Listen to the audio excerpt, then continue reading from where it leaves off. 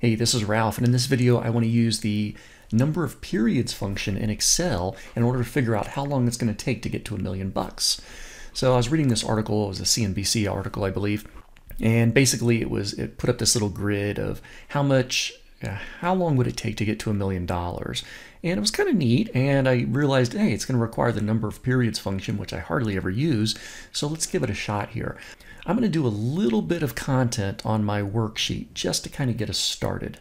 There we go. So I just put up a couple labels. So this article focused on getting to a million dollars, assuming you already had a hundred thousand.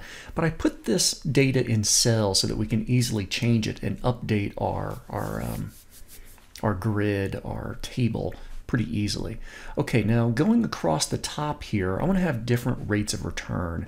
So let's see they had in the article, I think they had like a 4%, well, if I can type 4, they had 4%, 6%, 8%, and 10%. I'm going to go one step ahead, and we'll do a 12% just so we can do a comparison.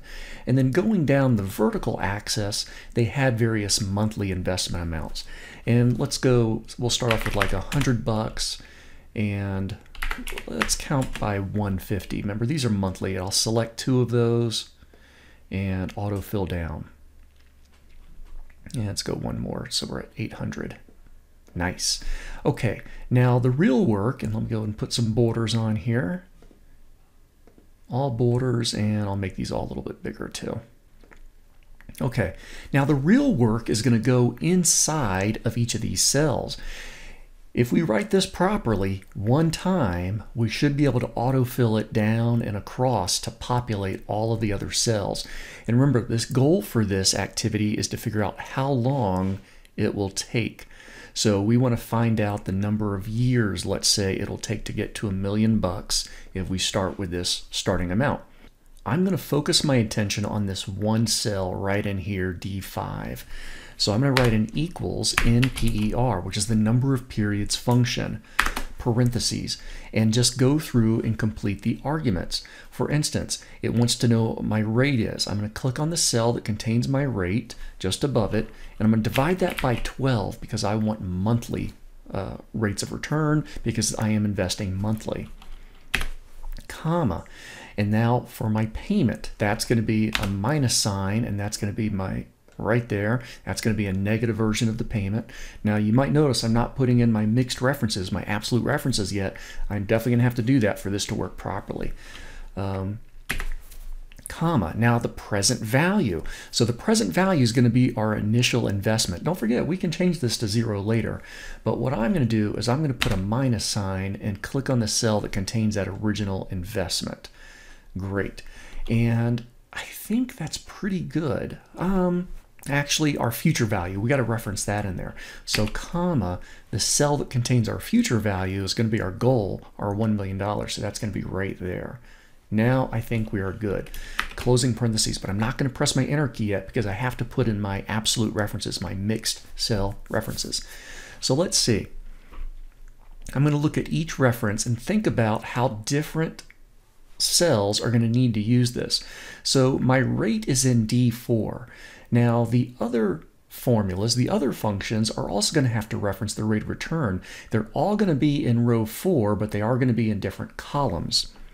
So if I know they're all going to be row 4, that lets me know that I should have a dollar sign in front of the 4. That makes the 4, row 4, absolute, whereas the column D is relative. That can change. They're all going to divide by 12. Now the C5 is referencing the uh, payment here. I'm sorry, the monthly investment, uh, which is the payment uh, argument. Let's see. All of these are going to reference column C, but they're going to be different um, different rows. So if they're all going to reference column C, that means the C should have the dollar sign in front of it. By the way, I'm pressing the F4 key on my Windows machine in order to toggle through the absolute and relative mixed status. Now, negative B2 is right up there. That's going to be my initial investment. All formulas, all functions are going to refer to that one. So that's going to be completely absolute. And the B1 is also going to be completely absolute. Now, when I press my enter key, this is basically telling me it's going to take 622 months, but I want this to be in years. So I'm going to edit this result. In fact, I'm going to put parentheses around the whole thing, even though I don't think I technically need to. And I'm going to divide by 12 months per year to get my answer in years. And then I'm going to reduce the number of decimals a bit, 51.8 years. So if I have a hundred grand and I'm going to, my goal is to have a million bucks and I invest a hundred dollars a month for at 4% return, it's going to take me 51 years. Now check this out though. I can click on the fill handle for this. I'm just going to drag down to my other options. Looks good. And then while they're all selected still, I'm going to use the fill handle again and drag over to the right so I can see how long it takes for these other categories. Let me do some real quick formatting. There we go, that looks a little bit better. So I just did some centering and obviously some fill colors and stuff. So now we can really read this table. If I'm gonna invest 250 a month, it's gonna take me about 20 years to get to a million dollars at 10%. Let's focus on that one for a quick minute. Now, what if I'm starting with $0 instead of 100,000? Well, then it's going to take me 35 years to get to that. All right, Let's go back to 100,000 as a starting figure. What if I want to get to 2 million?